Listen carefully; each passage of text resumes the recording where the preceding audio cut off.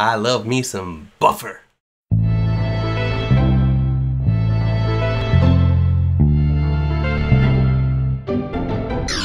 Hey, this is Scott Wyden Kivowitz, and in this video I want to show you how I pre-visualize and schedule my Instagram photos.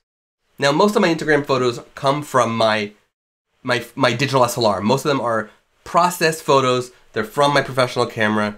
Um, some of them do come from my iPhone, but most of the time it is well thought out and, and edited and quality work. But I'm going to show you the Imagely buffer account because I want to show you what I'm doing. I do this for myself, but right now I don't have enough in the queue to really show you this well, so I'm going to show you on the Imagely account so that you could see exactly what I do. Now, here we are inside a buffer, and this is where you can see that I have 55 days.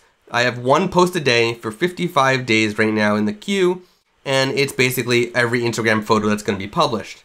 But there's this preview button right here. If I click that, it actually brings up this preview of what the Imagely account's profile um, page would look like. And as you can see, I have images all on the, on the two left columns, and the right column is image with text. Now I want to show you how if I scroll down, I can reorder stuff down here, where you can see this one and this one both have text, but they're in the left two columns.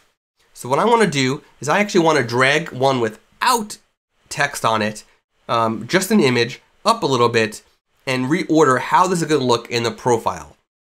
So what I'm going to do is I'm going to click this one and drag it up and just reorder. And I'm going to do the same for this one and reorder. And then I'm going to go down a little bit and it's going to keep grabbing images that don't have text and keep moving the other ones that do have text around so that all of them are on the right side. Now you can pre-visualize however you want. You could do this with having three photos that all uh, match this in the same place, or if you want just uh, selfies, self-portraits on one spot, you can do that. Basically, you can pre-visualize however you want using Buffer. And the cool part is, is if you just tap and hold, it's gonna show you exactly what day and time it's gonna publish based on your schedule and it's just gonna automatically publish. Now what this does, this actually frees me up in order to do more video content, more blog content, more photography, more family time, all of that stuff. And then Instagram is going to, or Buffer is gonna send this to my phone, tell me, okay, it's time to publish the, the publish this photo. And then in two seconds later,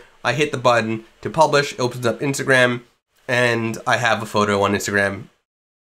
Two, three minutes done. I can get back to doing other things and not to worry about sitting there doing it all manually. Buffer is an amazing tool and this new preview feature is the best way to pre-visualize your actual um, profile account, uh, profile page, not the feed because you can't really control how the feed looks, but just the profile page. It's the, be the best way to pre-visualize and get it all scheduled.